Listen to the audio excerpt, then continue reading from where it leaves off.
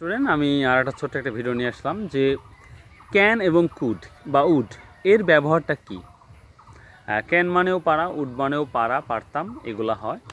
তো যাই হোক ক্যান আমরা যেমন বলি ক্যান ক্যান মানে পারা, যেমন আমি খেলতে পারি I can play I can eat I can read I can speaking English I can swimming I can run I can অনেক কিছু হয়। আমি চলতে পারি, আমি খেতে পারি, সব। তো যতগুলো পাড়াপাড়ি আছে, এগুলো আমরা ক্যান ইউজ করে থাকি, এটা তোমরা জানো।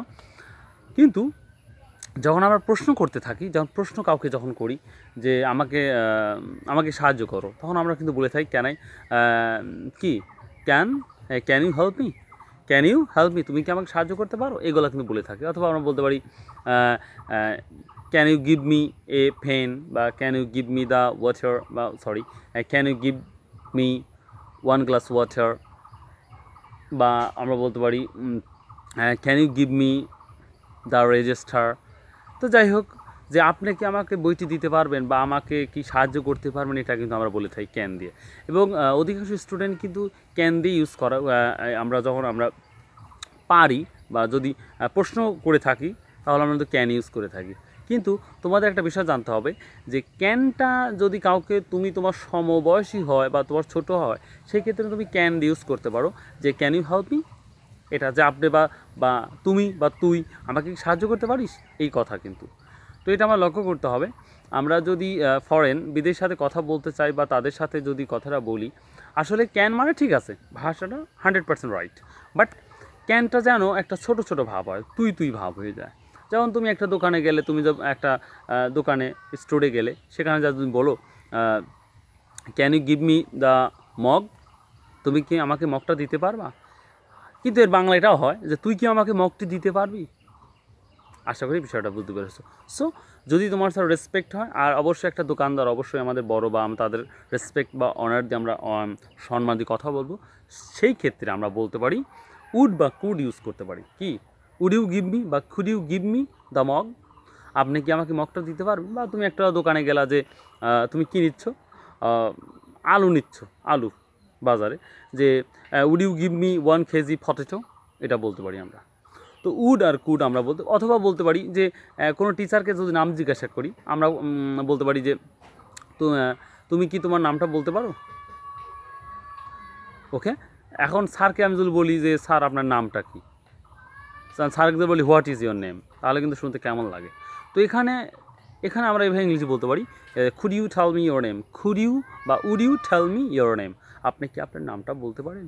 তাহলে বড়দের ক্ষেত্রে আমরা এটা বলব, আর ছোটোদের ক্ষেত্রে কি বলব? আমরা ওয়াচ ইয়োর নেম এটা বলে থাকি কিন্তু। কিন্তু পাড়াপাড়ি যদি হয়, অবশ্যই তুমি ক্যান ইউজ করবে মানে ছোট বা সমবয়সীর ক্ষেত্রে। আর যদি কাউকে সম্মান দিয়ে কথা বলতে চাও বা দিতে চাও, নিতে চাও, এই ক্ষেত্রে তো আমরা কুড বা উড ইউজ করতে পারি। আশা করি বিষয়টা বুঝতে পেরেছ। তাহলে আমরা বলতে পারি যে আপনি কি একটা আমাকে বই দিতে পারেন? তাহলে আমরা বলব না can you give me the book এটা বলব না। আমরা বলব কি যে, বা স্যার যদি আমরা স্যার আমাকে কলমটি কি দিতে পারবেন? সেক্ষেত্রে আমরা বলতে পারি could you could you give me the pen sir, আপনি কি আমাকে কলমটা দিতে পারবেন? এটা। কিন্তু স্যারে এটা বলব না যে can you give me the pen আপনি কি আমাকে কলমটা দিতে পারবেন? বা can you give me the pen আপনি কি আমাকে কলমটি দিতে পারেন? কিন্তু এর বাংলাটা হয়ে যায় যে তুই কি আমাকে কলমটি দিতে পারবি? এমন হয়ে যায়।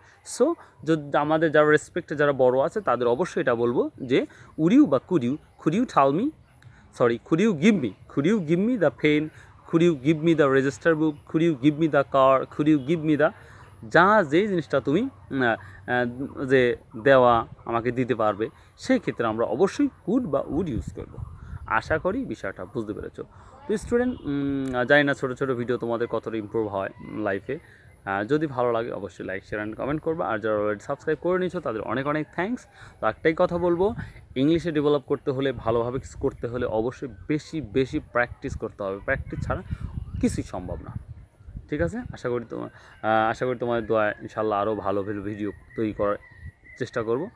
যেন তোমরা ইমপ্রুভ করো। আর একটা কথা বলি তোমাদের, যে প্রতিনিয়ত তোমরা প্রতিনিয়ত যেই খাদ্যগুলো খাও পরো দেখো চলো, সেই ইংলিশটাই তোমরা ফাইন্ড আউট করো, খুঁজো। তাহলে যে ইংলিশ স্কেলটা দ্রুত বাড়বে। যেমন এই যে আমরা তোমাদের, তোমার পিছনে তোমরা দেখতে পাচ্ছ গাছ। তো গাছের ইংলিশ কি? আমরা জানি ট্রি তো গাছের তারপরে সাইডে একটা আম ম্যাঙ্গো আম আছে। তো আমের ইংলিশ আমরা কি বলতে পারি? ম্যাঙ্গো তো এই যে যেমন একটা কলা গাছ আছে, আমরা বলতে পারি কলার ইংলিশ কি ব্যানানা তো এই যে ছোট ছোট বিষয়গুলো, আমরা যে যা দেখি, সেটাই যদি আমরা খালি ইংলিশটাকে ফাইন্ড আউট করি, তাহলে ইংলিশ তোমার কখনোই তুমি ভুল হবে না। আশা করি বিষয়টা বুঝতে পেরেছ। তো যাই হোক স্টুডেন্ট জানি না কতটা ভালো লাগবে ভিডিওটা। ঈদের পর দুদিন ভিডিও আপলোড করি নাই, তো করলাম। Okay all the best